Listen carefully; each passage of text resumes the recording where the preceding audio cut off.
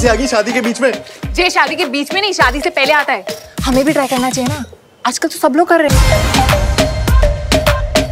Sandi menjanjikan peningkatan pertumbuhan ekonomi menjadi 6,5 persen dalam dua tahun masa kepemimpinan mereka jika terpilih. Guddu तो इतना उतावला हो गया ना कि अगर जहाँ कोई हवन और मंत्र पढ़ने वाला मिल जाए ना तो जहीं कर ले शादी